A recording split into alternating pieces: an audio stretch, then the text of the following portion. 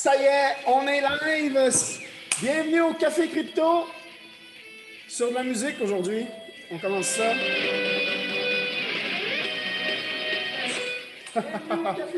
Hop, j'ai oublié. Bien sûr, bien sûr, bien sûr, bien sûr. Hop, voilà.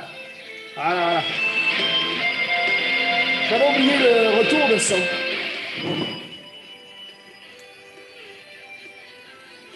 J'aime vraiment ça.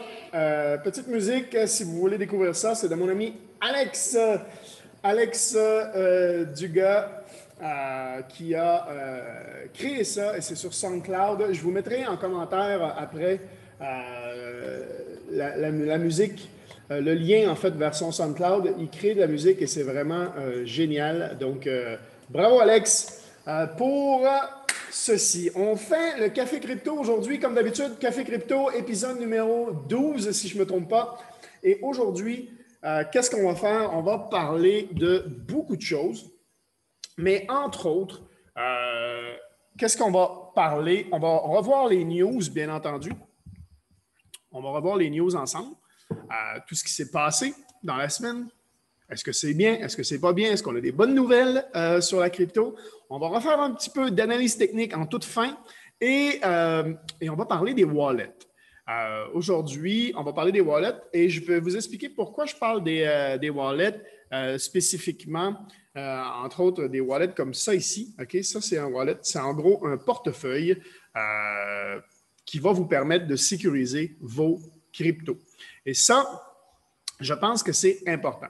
Donc, petit avertissement, comme d'habitude, c'est un partage d'opinion qu'on fait aujourd'hui. Ce n'est pas une incitation à l'investissement. Faites toujours vos recherches. Euh, c'est toujours mieux et n'investissez jamais de l'argent que vous avez besoin.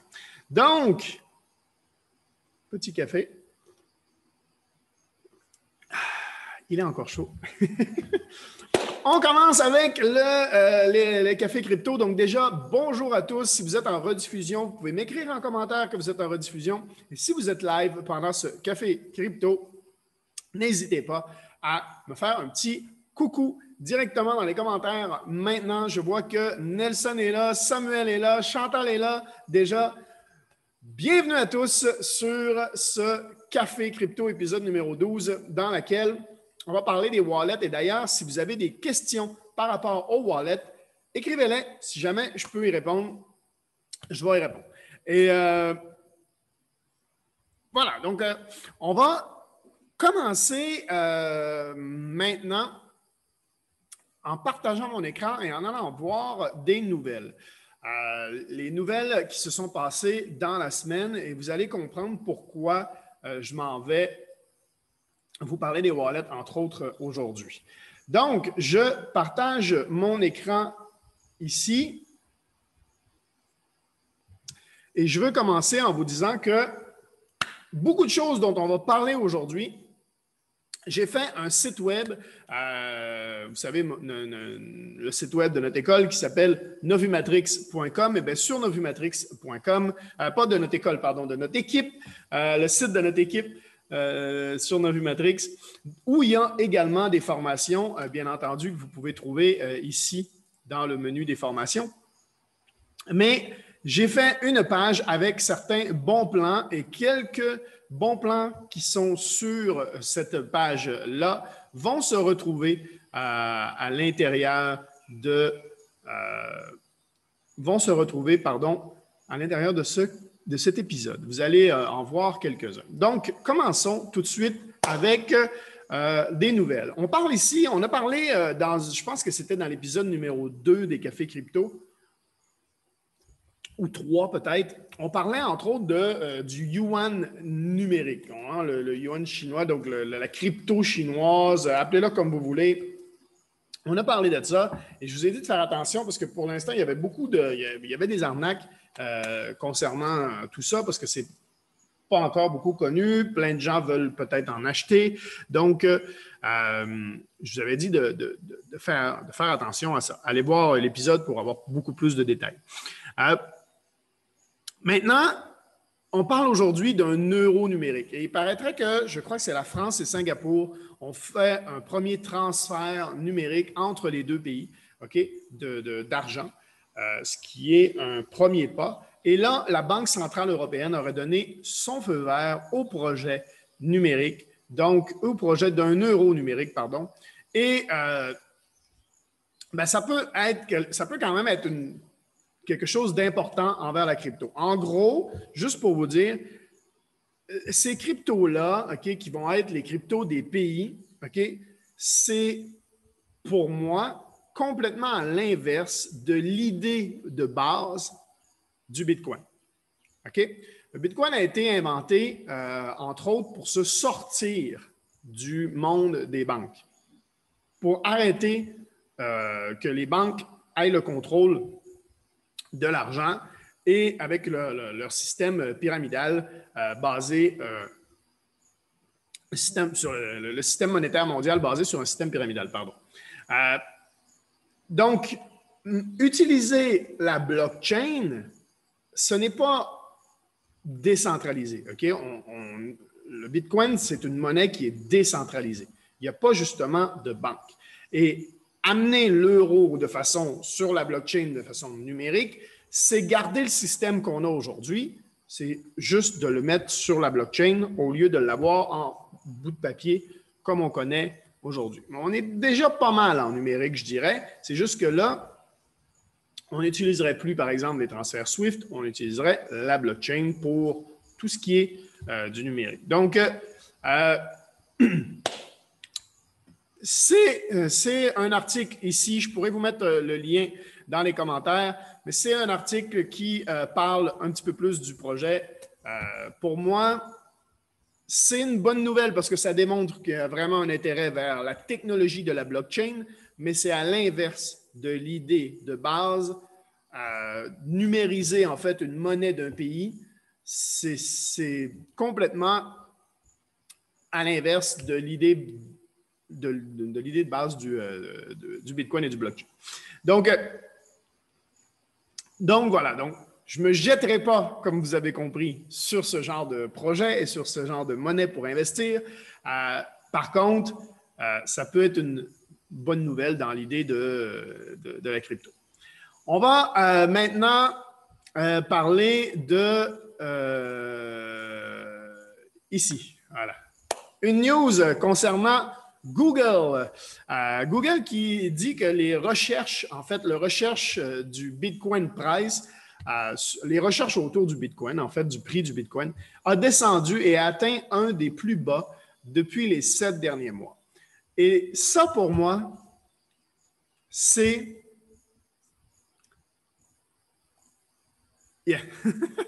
c'est pour moi euh, une excellente nouvelle. une excellente nouvelle. Pourquoi, d'après vous, dites-moi ça en commentaire, pourquoi ce serait une bonne nouvelle de savoir que les recherches autour du Bitcoin ont descendu énormément sur Google? Dites-moi pourquoi, d'après vous, ce serait une bonne nouvelle. Je vous laisse le temps de répondre pendant que je me prends une petite gorgée de crypto, euh, de café. Je suis un peu mélangé ce matin. Hein? Oh là là! Pas encore réveillé assez. On a dit il faut faire l'inverse de la masse. Ça, on en a parlé dans des anciens, euh, euh, épisodes, il faut être à l'inverse de la masse. Quand toute la masse, quand l'euphorie rentre dans le système psychologique, je vous ai montré beaucoup cette image euh, du cycle psychologique du, trading, des traders, il faut, quand tout le monde est dans l'euphorie, c'est justement normalement là où il faut vendre. Il ne faut pas acheter quand le prix monte à des euh, niveaux euh, super hauts. Il faut vendre à ce niveau-là, prendre des profits quand c'est rendu à ce niveau-là. En revanche, vous pouvez faire l'inverse, c'est-à-dire acheter quand le prix est vraiment bas. Hein. Acheter bas, vendre haut. La, grosse majorité des gens, la masse, le savent, mais font l'inverse les gens, en ce moment, se désintéressent du Bitcoin parce que ça fait à peu près deux mois que le Bitcoin est rendu à 30 000. On parle que l'année dernière, à cette même date, il était à 9 000. OK? Il a quand même trois fois plus que l'année passée. OK? Donc, ce n'est pas grave ce qui se passe en ce moment. On a quand même, en un an, fait trois fois plus. OK? On a fait beaucoup plus que ça. Il y en a qui ont fait huit fois, OK? Parce qu'on est monté autour de euh, même sept, fois. sept fois, huit fois dans, ces coins-là, quasiment huit, OK? Euh, euh, sur le Bitcoin. Mais c'est important de, comprendre, en effet, que, que si, les, gens se désintéressent, c'est le moment d'en accumuler, en. Parce que quand les gens vont, parce que là, ça va repartir, on va recommencer à monter. Et quand on va recommencer à monter, les gens, ils vont, comme la dernière fois, quand on était à 9000, les gens pensaient que le, crypto était fini, même quand on était à 3000. Euh, les gens pensaient que la crypto était terminée. On a passé à 10 000, on a passé à 15 000, on a passé à 20 000. Et là, on était rendu à un plafond psychologique parce que la dernière fois qu'on était allé à 20 000, ça avait chuté. C'était fin 2017. C'était là où on avait fini le dernier cycle. Donc, on est passé rapidement après ça à 25 000, à 30 000, et là, il y a beaucoup de gens qui se sont dit on va attendre un retour à 20 000 pour euh, racheter, ce qui va revenir en fait à 20 000. Et bien, finalement, on est allé à 35, à 40, à 45, à 50. Là, tout le monde a commencé à dire Wow, le Bitcoin est rendu à 50 000, et je parle en dollars US, bien sûr. Euh, et là, ça a commencé à créer une euphorie, et là, les gens ont commencé à en acheter. On est passé à 55 000, 60 000, 63 000, 64 000. On a presque touché les 65 000 et on a rechuté. Mais ça a fait une montée assez rapide. OK? On, pas, on, est, on était dans le cycle court psychologique, on avait atteint l'euphorie. Dans le cycle court. Maintenant, dans le cycle long, on est encore au début de cette, de, de cette fameuse boule D'après moi. Encore une fois, je partage que mon opinion. Mais d'avoir, euh, de voir en fait que maintenant, les recherches Google redescendent, ça veut dire que l'euphorie redescend. Et dans le côté psychologique, ça veut dire qu'on est dans le déni, on est dans le, dans le dégoût, ce qui se passe de négatif, en fait la grosse majorité de la masse en ce moment se détache et n'est pas intéressée. Tandis que c'est le moment d'accumuler. C'est le moment où il faut faire ce que l'inverse, l'inverse de ce que les gens font. Donc, moi, ça, je le vois comme une très, très bonne nouvelle. On continue. Euh, on a parlé la semaine dernière d'une news euh, Square, en fait. Euh, Square qui est la division pour payer de Apple. Vous me dites si je, me trompe, mais il me semble bien que c'est ça. Eh bien, ils ont, ils ont créé carrément une plateforme autour du Bitcoin et ils disent que leur focus, c'est vraiment sur le Bitcoin. Et ils ont également annoncé qu'ils vont créer leur hardware wallet. Donc là, j'ai cliqué sur le Twitter. ils ont, ils ont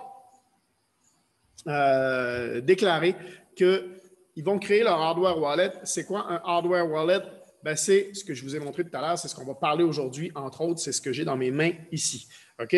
Ça, c'est un hardware wallet. Nelson qui disait euh, c'était pour se préparer à monter, pour ramasser de l'argent. Oui, effectivement. Quand les gens se désintéressent, c'est là où il faut accumuler, c'est là où il faut ramasser. Euh, effectivement. Donc, ils vont créer un hardware wallet. Très bonne nouvelle un nouveau hardware wallet de disponible. Hâte de voir les euh, prochaines features, euh, les détails en fait de ce wallet-là. Mais tout ce qui entoure le euh, Bitcoin et Square pour l'instant qui s'intéresse et qui veut faciliter en fait tous les paiements avec le, Bitcoin autant que Visa et tout ça, je trouve ça super intéressant. Autre nouvelle entourant le même genre de, de choses, c'est que PayPal PayPal a lancé son accès à la crypto. Quand, ils ont commencé à en parler, c'était, ils annonçaient que les gens allaient pouvoir acheter autour de 10 000 de crypto euh, par semaine. Et euh, ça, c'était les premières rumeurs. Et quand le service a été lancé, la limite était à 20 000. Donc, 20 000 par semaine de crypto que les gens pouvaient acheter. Vous allez me dire, qui c'est qui achète 20 000 par semaine? Eh bien, il paraît qu'il y a beaucoup de monde parce qu'on est rendu à 100 000. On vient d'annoncer que le plafond euh, chaque semaine qu'on peut acheter via PayPal, c'est maintenant à 100 000 Et ils ont dit que euh, dans la nouvelle, on voit qu'on a atteint là, 392 millions de active users euh, dans le premier quart de 2021, sachant que c'est disponible normalement que aux États-Unis. Et il disait que euh, PayPal reach 200 millions de dollars in a matter of month. Le, volume par mois de transactions est égal à 200 millions de dollars sur la, plateforme de PayPal. C'est quand même incroyable. OK? Je veux dire, il y a quand même, c'est énormément d'argent qui se passe en ce moment dans le monde de la crypto et du Bitcoin et, tout ça. Pour moi, c'est encore des choses qui sont hyper positives et qui démontrent qu'il y a un réel intérêt. OK? Qu'il y a un réel intérêt, que même si la masse se désintéresse, comme on l'a vu, les gens qui sont en arrière, qui comprennent comment le monde de la finance fonctionne, eux sont intéressés et eux en profitent en ce moment. OK? Donc, l'objectif des cafés crypto, c'est justement de vous aider à faire partie de ce monde-là. Ainsi qu'avec notre école, si vous voulez apprendre davantage euh, et pousser votre apprentissage, bien entendu, comme je dis toujours, je recommande notre école. Et pour euh, y en faire partie, envoyez-moi un petit message. Ça va me faire plaisir de vous donner toute l'information autour de cette école-là qui compte déjà plus de 300 000 étudiants à travers le monde. Les formations sont disponibles dans 16 ou 17 langues. Et, euh, et il y a une belle promotion ce mois-ci que vous pouvez profiter. Donc, je ne vous en dis pas plus pour l'instant, mais il y a une très belle promotion ce mois-ci. Donc, euh, profitez-en. Une autre nouvelle euh, intéressante, c'est que ben, au Kenya, on s'intéresse à utiliser le système de la blockchain pour tout ce qui est le vote, en fait, pour, pour aller voter. OK? Il parlerait qu'il y aurait une économie de fait sur si les gens pouvaient utiliser la blockchain, ça ferait des économies. Donc, je trouve ça super intéressant aussi de voir que ben, on utilise la blockchain pour aujourd'hui de plus en plus de projets et de plus en plus de, de choses différentes. Et on l'a vu, on en a parlé, je pense, dans, l'épisode numéro 9, si je ne me trompe pas, où on est allé voir quelques projets, justement, qui étaient super intéressants. Euh, et euh, d'ailleurs, on avait parlé de, Flow et de Flare. Flare, qui est l'application disponible maintenant sur l'App Store, ça y est, c'est lancé, c'est parti, où vous pouvez uploader des vidéos un peu comme TikTok, mais où vous pouvez gagner des concours. Et aujourd'hui, comme il n'y a pas beaucoup de users, je vous dirais que c'est une bonne chose et vous avez des chances de gagner, beaucoup plus de chances de gagner en ce moment. Et c'est 100 dollars par jour que vous pouvez gagner avec des vidéos. Si vous avez reçu le plus de votes, si votre vidéo est assez originale, vous allez recevoir des votes et automatiquement, vous pouvez gagner un 100 dollars en crypto par jour. Donc, ce qui est intéressant. 100 dollars par jour, c'est pas mal, ça.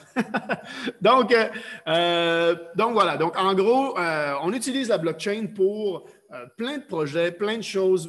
Et on innove, en fait. Pour moi, la blockchain, c'est vraiment, c'est vraiment justement une technologie qui va être de plus en plus utilisée dans le futur et qui est, c'est vraiment intéressant de voir que maintenant, on en parle même pour justement les votes.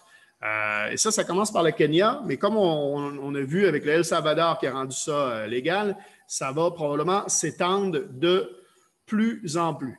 Euh, autre chose que je voulais vous parler, c'est que une des euh, plateformes que j'utilise et que euh, je, d'ailleurs, dans ma formation personnelle qui est sur novumatrix.com sur les bases de la crypto, je vous parle entre autres de l'exchange qui s'appelle Bybit, OK, et que j'utilise pour aller euh, pour, pour trader, entre autres. OK? Et vous avez dans les bons plans la possibilité, si vous voulez supporter aussi euh, euh, ce café crypto et la chaîne YouTube, euh, vous pouvez vous inscrire à Bybit ici et à Binance ici. Mais la news concernant ça ici, la news, c'est que Bybit va maintenant s'étendre et va lancer son côté spot trading. On sait que sur Bybit, en fait, on avait avant que du trading euh, on n'avait que du trading avec effet de levier, donc euh, avec des futures, des choses comme ça. Aujourd'hui, on va pouvoir faire du spot trading sur, la, sur Bybit. Ce qui est intéressant quand on est dans un, aussi dans une période comme aujourd'hui, on peut accumuler grâce à du spot trading. Et on peut trader même quand ça descend avec des, ce qu'on appelle les futurs et tout ça, ce que Bybit faisait déjà. Donc, en gros, maintenant, comme sur Binance, vous allez avoir sur Bybit la possibilité de faire les deux. Donc, ça, c'est une excellente nouvelle pour ceux qui utilisent Bybit. Et pour ceux qui utilisent Binance, ben, il y a de plus en plus de pays en ce moment qui lèvent des flags euh, sur Binance. L'Italie euh, vient d'être un autre. On sait que le UK le fait, la Thaïlande le fait. Donc, on est rendu à, je pense, sept pays. Euh, L'Ontario le fait au Canada. Donc, les US l'avaient fait. Qu'est-ce que ça donne? Qu'est-ce que ça fait une annonce comme ça? juste pour vous dire, OK, juste pour, pour, un peu dédramatiser ça d'un certain côté, c'est que les gens peuvent toujours utiliser le VPN. OK? Là, ce que l'Italie a dit, c'est seulement qu'ils n'ont pas les autorisations pour offrir des produits euh, financiers. Ils ne se sont pas enregistrés en gros à l'AMF. Euh, donc, euh, c'est ce qui arrive quand on offre des produits financiers. Les autorités financières disent Hop, hop, hop, hop, hop, vous n'avez pas payé ici, vous n'avez pas payé, hein? donc il faut, faut s'enregistrer. Donc là, ils déclarent des choses comme ça. Donc, qu'est-ce que peut faire Binance? Plusieurs choses. Aux US, par exemple, ils ont créé un Binance propre pour les US. Euh, ensuite, donc, ils peuvent le faire pour tous les pays qui vont lever des flags. Euh, ils ont les moyens euh, largement de se, de, se, retourner, en fait, et de pouvoir euh, permettre ce genre de choses. également, comme je disais, les utilisateurs peuvent utiliser un VPN pour continuer à utiliser Binance. Ça, c'est un autre point. Et, et par contre, par contre, ce genre de nouvelles-là et qui, tout ce qui se passe autour de Binance en ce moment, ça peut quand même être dangereux. Pour quelle raison? Parce que si vraiment tout le monde voulait aller chercher son argent et reprendre son argent sur euh, Binance, ça pourrait être euh, dangereux pour, le, pour le site dans le sens de sa viabilité dans le futur. Et ce genre de site, Binance, Bybit, euh, Coinbase, Deribit, euh, euh, Kraken, euh, vous en avez plein, OK? Des, exchanges, il y en a plein. Donc, vous allez toujours pouvoir rebalancer sur un autre exchange. Vous allez pouvoir toujours utiliser d'autres exchanges.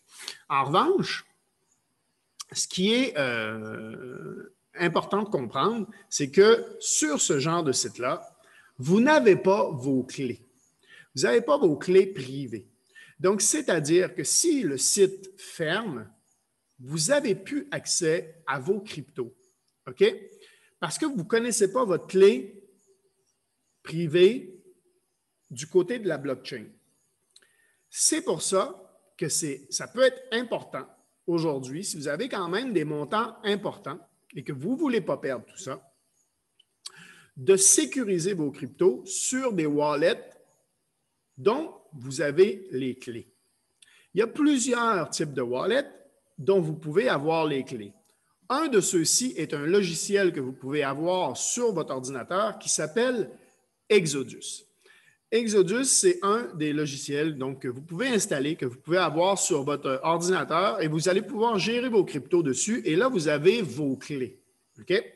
C'est sur votre ordinateur, donc ça peut, euh, on va dire, le, côté un peu négatif, c'est que s'il y a des hackers, si vous avez un virus sur votre ordinateur ou tout ça, ben, ils peuvent euh, avoir accès. Donc, c'est un peu plus risqué parce que c'est un logiciel sur votre ordinateur. Mais ça fonctionne très, très bien, Exodus.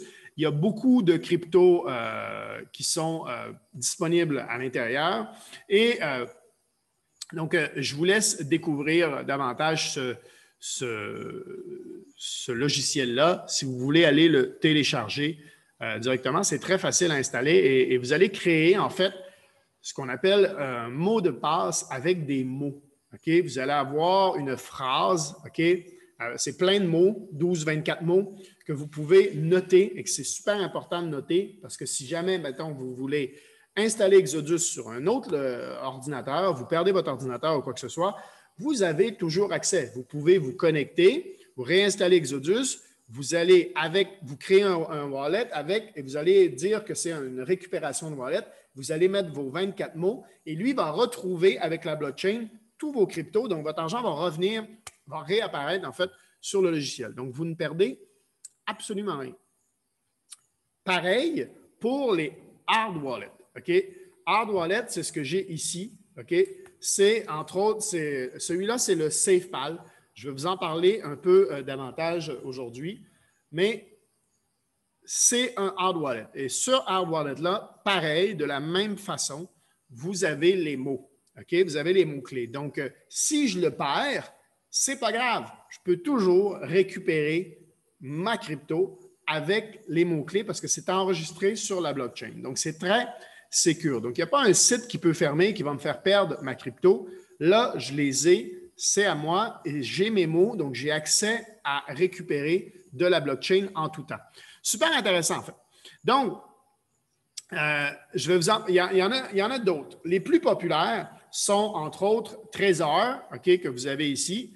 Trésor, qui, euh, il y a deux modèles, le Trésor One et euh, le Trésor Modèle T. Le Trésor Modèle T vous permet d'avoir, entre autres, du Cardano, du Ripple, du Monero, du iOS sur euh, celui-là, ce que n'a pas, n'a pas le Trésor One. Le Trésor One est un peu le premier modèle et le Trésor Modèle T est le modèle, on va dire, plus avancé, plus récent, avec tous les derniers updates. voilà. Donc, il y a même un touch, screen euh, sur, euh, sur celui-là et il coûte aux alentours de 150 euh, dollars, 150 euros, je pense, le modèle T et le Trésor One coûte aux alentours de 50. OK? Donc, ça ici, c'est un peu le, look du Trésor One, comme vous le voyez là, ici. Euh, voilà, c'est un peu un truc un peu comme ça. Et vous avez ici un touchscreen et vous avez donc des clés, des choses comme ça. Et vos cryptos sont de la même façon que ce que j'ai dans les mains euh.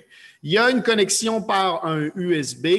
Donc, euh, donc voilà, ben, vous pouvez donc faire les mises à jour, les choses comme ça directement avec une, une, connexion ici.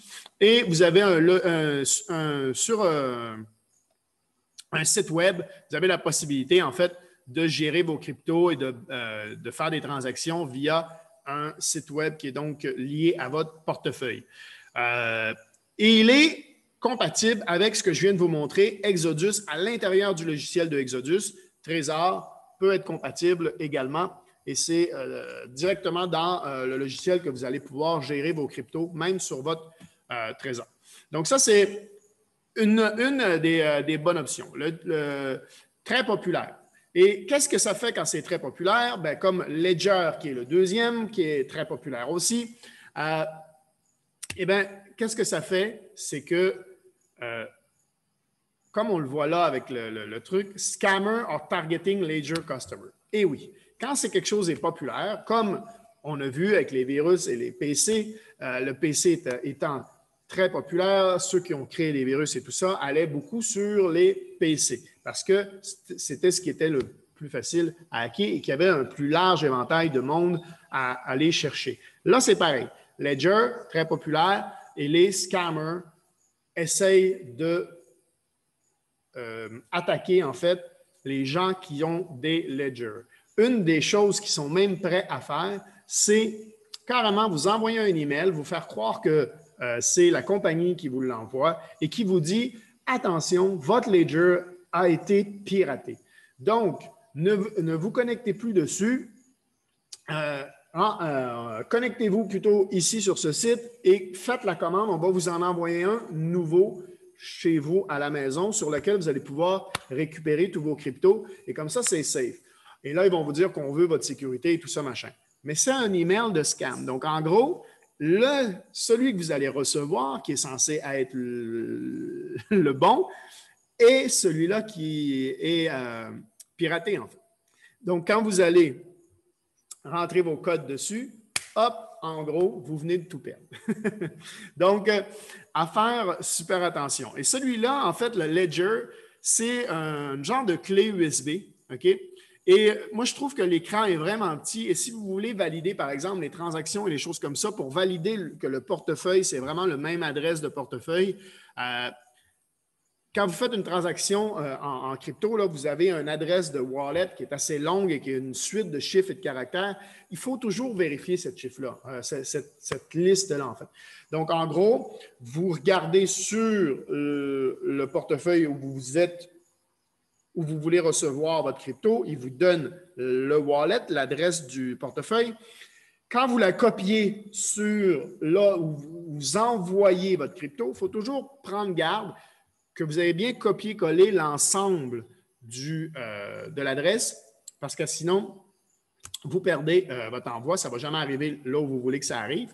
Euh, et donc, c'est super important de bien vérifier. Et il y a certains virus qui font un switch, en fait. Donc, vous faites copier-coller et ça ne colle pas la bonne adresse. Ça colle l'adresse qu'eux veulent, en fait.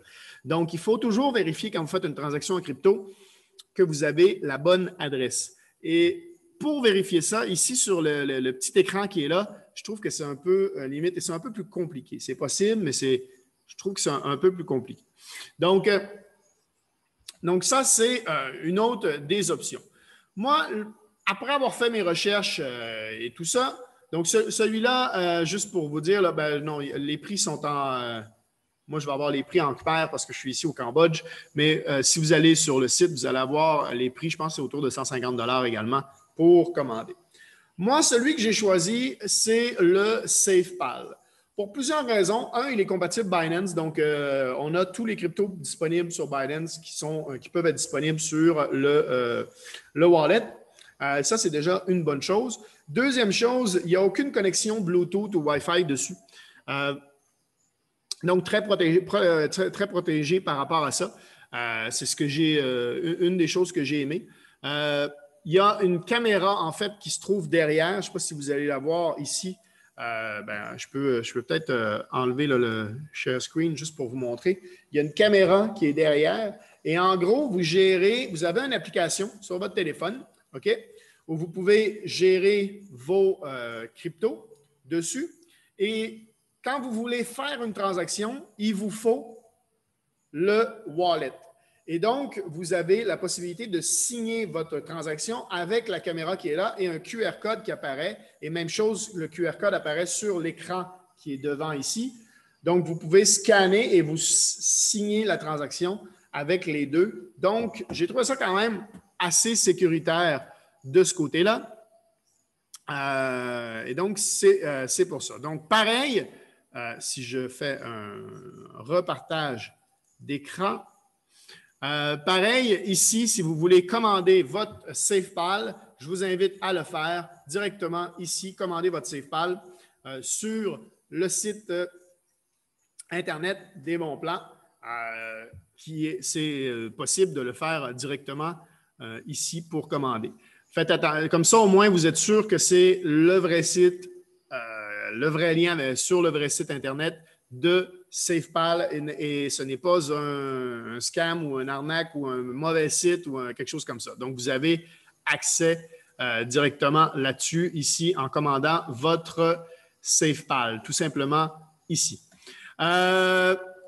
Et ouais, donc ça, voilà, ça c'est le, vous voyez le, QR code qui apparaît, vous faites la synchronisation, il apparaît sur l'écran ici et vous pouvez faire le, signer les transactions. Donc, vous pouvez le commander également avec une étui, comme je vous ai euh, montré. Moi, j'ai une petite euh, étui euh, ici et vous avez également la possibilité d'avoir vos mots, en fait, les mots, les, 12 ou 24 mots que vous avez quand vous créez votre truc. Vous pouvez les enregistrer ici sur un truc en métal pour, ben, pas en métal, mais c'est en, c'est marqué Cypher. Euh, en tout cas, c'est, ça protège en fait de tout ce qui est feu ou corrosion. vous avez la, protection pour mettre vos mots. C'est sûr que vos mots, vous pouvez les mettre sur une feuille de papier aussi, mais si vous perdez la feuille de papier, vous n'avez plus vos mots. Donc, donc voilà, c'est euh, quelque chose. Et il est très abordable également pour quelqu'un qui commence ou quelque chose comme ça. Je trouve que euh, je trouve qu'il est aussi abordable, une cinquantaine de dollars. Donc, c'est euh, pratique et vous pouvez donc avoir accès ici. Donc, moi, ce serait celui que je recommanderais. pour protéger votre crypto. Donc, voilà. Donc, c'est vraiment le petit tour d'horizon que je voulais faire avec vous à ce niveau-là, des portefeuilles, euh, des news et tout ça. On va finir par aller regarder où le Bitcoin, on en est où de façon euh, technique.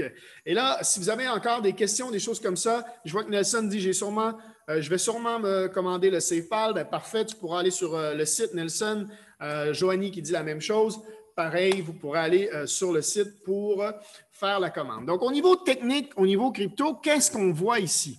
Ben, on voit qu'on est vraiment sur une pente descendante et là, on est en train vraiment de se créer même un, ce que je dirais, là, on a un, canal, de, canal baissier. Là. on a vraiment euh, le canal baissier euh, qui est ici.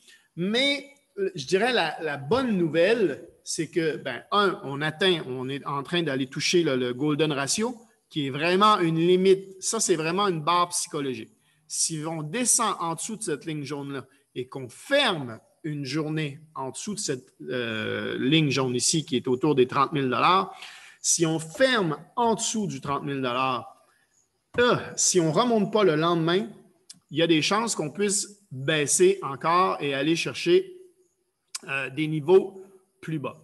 OK? ça pourrait, euh, ça pourrait baisser euh, solidement. Donc, les, prochains niveaux seraient peut-être entre 24 000 et 20 000, je pense, si je ne me trompe pas. Donc, à voir. Moi, si on descend à ces niveaux-là, pour moi, un, c'est génial quand tu apprends à trader, parce que quand tu apprends à trader, tu peux faire de l'argent même quand ça descend. Ça, c'est une des raisons pour laquelle, en 2018, j'ai voulu m'inscrire à notre école pour apprendre justement et pouvoir profiter même des descentes. Ça, c'est vraiment un gros point euh, que, j'ai appris. Même des descentes. Ça, c'est vraiment un gros point. Euh, petit peu d'eau. Ça fait du bien. Donc, un gros point que j'ai appris, c'est euh, de, pouvoir faire de l'argent même quand ça descend. Et euh, de pouvoir repérer des zones aussi. Vous voyez, là, dans mon écran, j'ai euh, des zones importantes.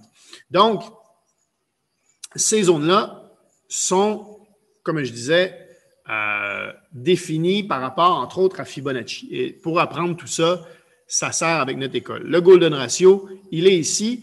Et si on descend en dessous ici, ça peut être un peu tendance. Mais là, on est sur une bonne tendance, on est sur une, une bonne ligne ici, et on est en haut, on est au-dessus de la ligne. Donc, pour l'instant, c'est bien. Tant qu'on est au-dessus de la ligne, c'est bon. Si on descend en dessous, on va se retrouver à l'intérieur d'un petit euh, fin de triangle ici, un flag qui, euh, qui va forcer une poussée soit vers le bas ou soit vers le haut. On sait que le 18 juillet va être une date quand même assez importante au niveau de la crypto parce qu'il va y avoir plusieurs euh, contrats qui vont se terminer et beaucoup de cryptos qui vont être libérés en fait sur le marché. Beaucoup de Bitcoin, je crois que c'est autour de 16 000 Bitcoin qui vont tomber disponibles sur le marché.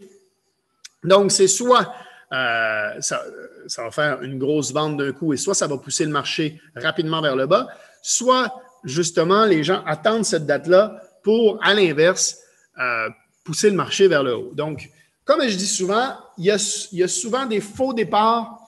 Euh, le marché va souvent à l'inverse avant d'amener là où on veut aller. Donc, en gros, si on descend en bas, de mon opinion, je crois que, un, ça va aller faire une wick comme on a fait ici. Vous voyez là, ça, c'est une wick et tout de suite, on a repoussé le marché en haut.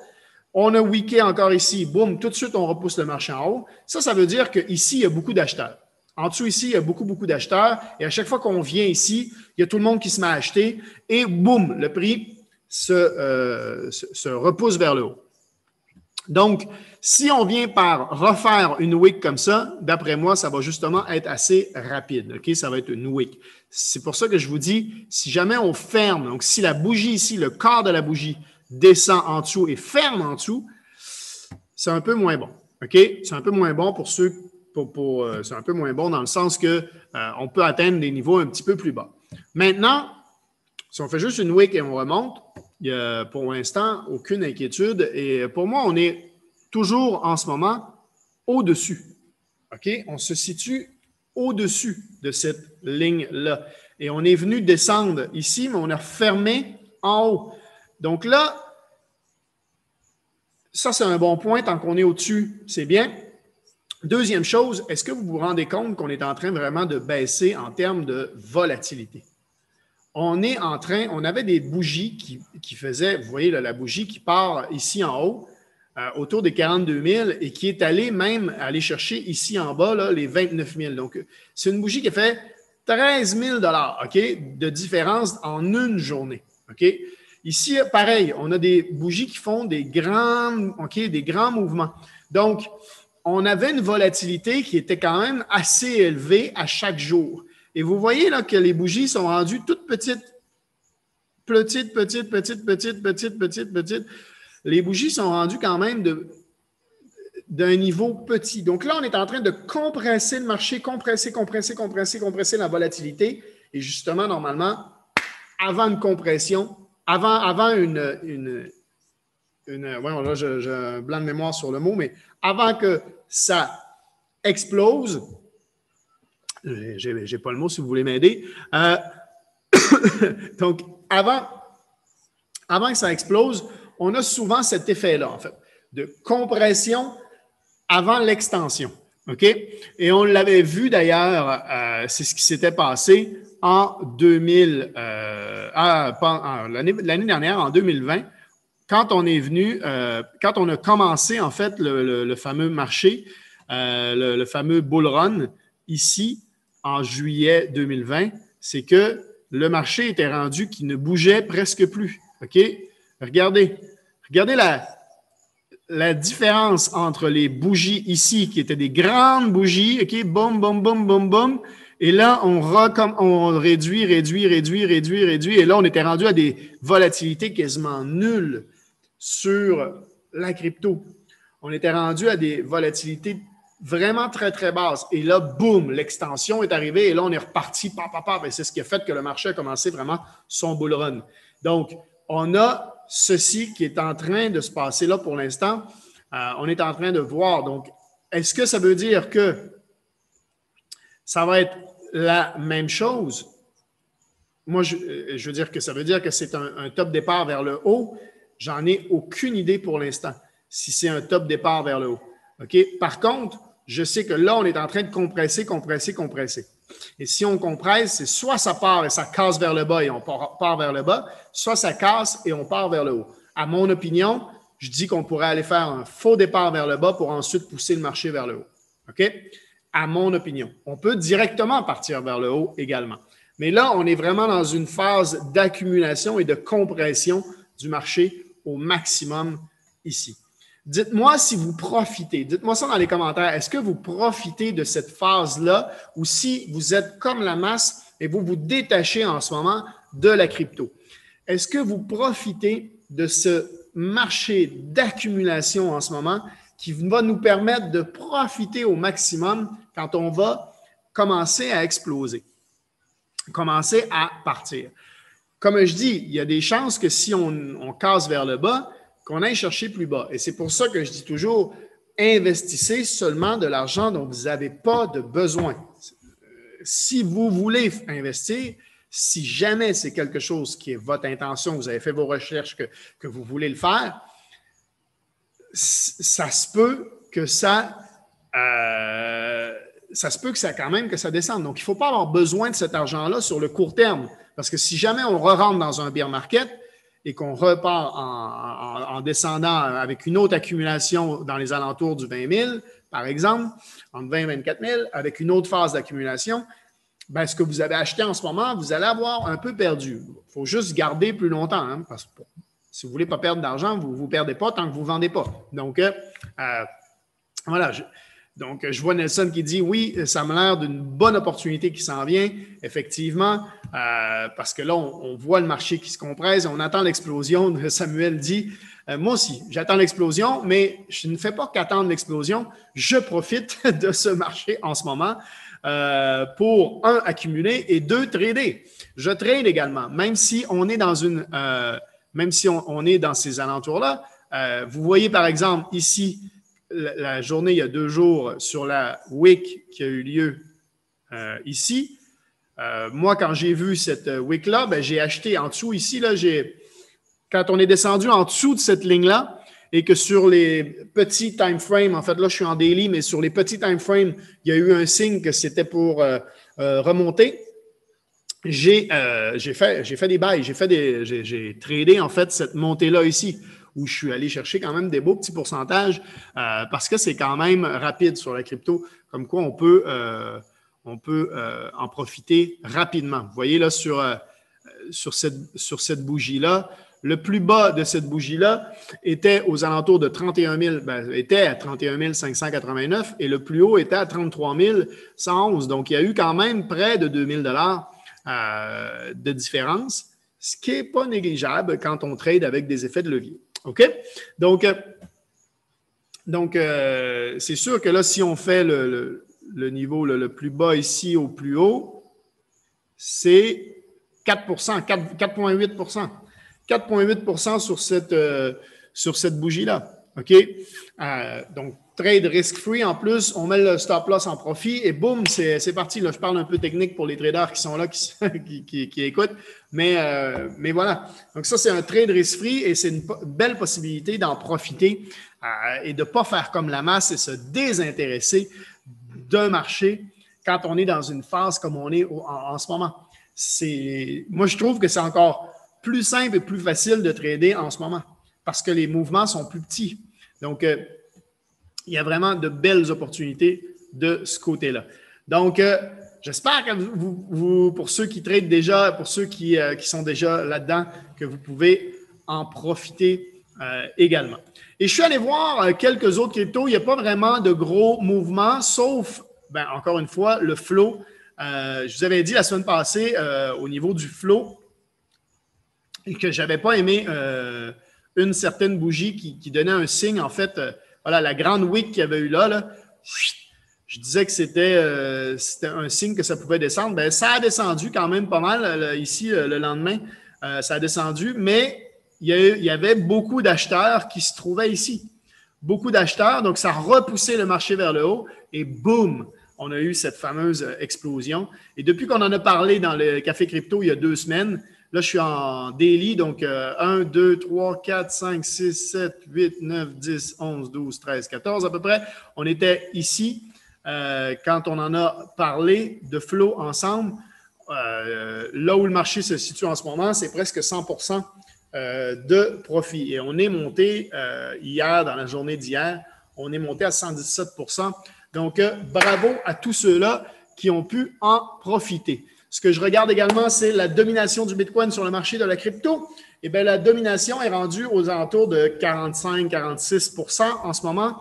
Donc, euh, moi, je vois quand même une belle montée. Et ça, qu'est-ce que ça veut dire? C'est que le, Bitcoin domine sur le marché des cryptos. Ben, là, il ne domine pas parce qu'il est à moins de 50% mais ça veut dire que quand on part des plus bas qu'il y a eu euh, ici où on était aux alentours de 39, ça, ça veut dire qu'il y avait quand même beaucoup d'argent investi sur les altcoins. Ça veut dire sur toutes les autres cryptos. Il y a un transfert et il y a beaucoup de, gens en ce moment qui sont en train, c'est pour ça qu'on voit des transferts, les gens remettent sur le Bitcoin parce qu'ils accumulent du Bitcoin. Donc, le Bitcoin devient de plus en plus fort par rapport à tous les autres altcoins. On sait que les altcoins, c'est divisé. Hein? C'est réparti sur tous les altcoins. Euh, le, 50, 55% 54% en ce moment du reste de l'argent, il est réparti sur plusieurs. Mais il reste que 45% de l'argent investi dans, la crypto en ce moment et sur une crypto qui est celui du Bitcoin. Donc, euh, très important. Et sachez que quand on était en janvier, euh, on, avait atteint quand même des, des beaux niveaux, là, autour de, ouais, voilà, janvier.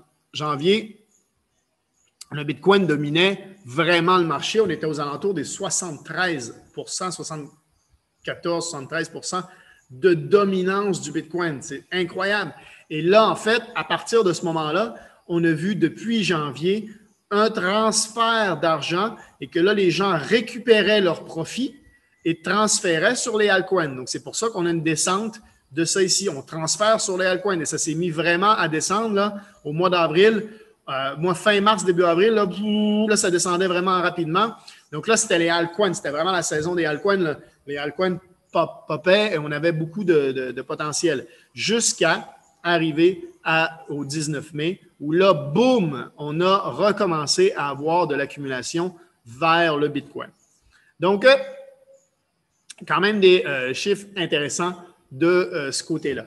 J'espère que vous avez trouvé de la valeur à, ce Café Crypto épisode numéro 12. On a parlé des wallets, euh, entre autres Trésor Ledger et SafePal et Exodus pour le logiciel. On est allé voir quelques nouvelles également qui sont intéressantes euh, sur, tout ce qui se passe en ce moment et qui, qui me fait dire que il y a des belles journées et des beaux mois, en fait, qui vont repartir. La dernière fois, on se rappelle, je vous l'ai dit, tout à l'heure, on est allé voir dans le passé, le bull market a vraiment explosé fin juillet. Est-ce que ça va être euh, la même chose cette année, fin juillet? Écoute, on est rendu le 16 ici, euh, juillet. Donc, euh, je me dis qu'il y a une possibilité avec le marché qui se compresse, comme on a vu la dernière fois, l'année dernière, hein, il y a un an exactement, au mois de juillet, ça se compressait et c'est là qu'on a vu l'explosion arriver. Donc, je nous souhaite à nous qui sont, qui profitons de ces marchés, je nous souhaite euh, également. Un jour, j'aurai mon propre podcast Crypto-T au lieu de Café Crypto. Crypto-T. Popé. Là, je suis rendu à l'eau euh, pour. Euh, je parle beaucoup, donc voilà. Ben, merci, merci à tous d'avoir été là. Merci à ceux qui participent également dans le Café Crypto et même ceux qui laissent des commentaires après. ça fait toujours plaisir et je vous retrouve. Et si vous êtes sur YouTube, n'hésitez pas à vous abonner et à mettre la petite cloche à la chaîne. Je disais la semaine passée 1500, c'est plus de 1600 personnes déjà maintenant qui sont abonnées sur la chaîne YouTube. Merci à tous. Et comme je disais, si vous voulez encourager et, euh, tout ça, euh, si vous voulez encourager les cafés crypto et tout ça, vous pouvez aller sur le site novumatrix.com. Je vais vous mettre le lien dans les commentaires de cette vidéo. Et sur Facebook également. Donc, euh, merci. On vous retrouve pour l'épisode numéro 13. Est-ce qu'il y en a des superstitieux euh, dans vous? On se retrouve la semaine prochaine pour le Café Crypto, épisode numéro 13. Merci à tous. Ciao tout le monde. Bye bye.